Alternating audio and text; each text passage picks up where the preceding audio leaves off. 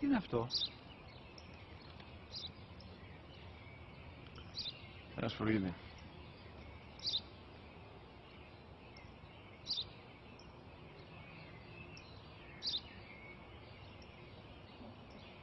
Τι είναι αυτό; Μόλις τώρα στο πατέρα, σφουργίτη είναι.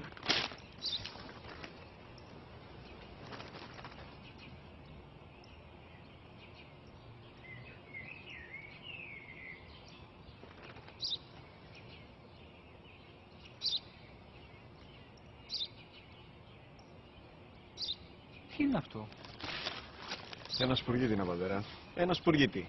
Σπου, γη, τι.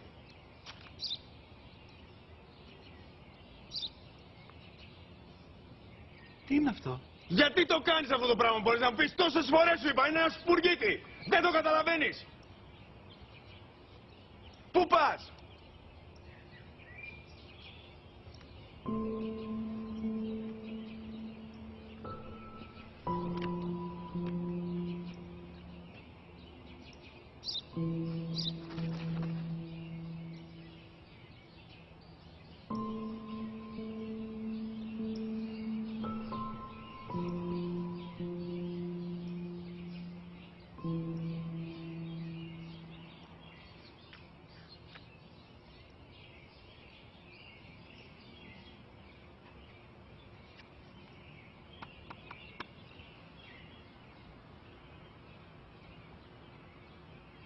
Δυνατά. Σήμερα ο μικρός μου γιος που πριν λίγες μέρες έκλεισε τα τρία καθόταν μαζί μου έξω στο πάρκο όταν ένας σπουργίτη ήρθε και κάθισε απέναντί μας. Ο γιος μου με ρώτησε 21 φορές τι ήταν αυτό και του απάντησα και τις 21 φορές ότι ήταν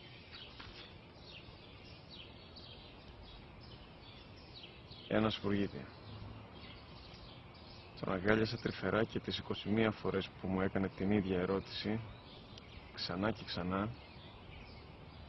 χωρίς να εκνευριστώ, νιώθοντας στοργή για το αθώο μου αγοράκι.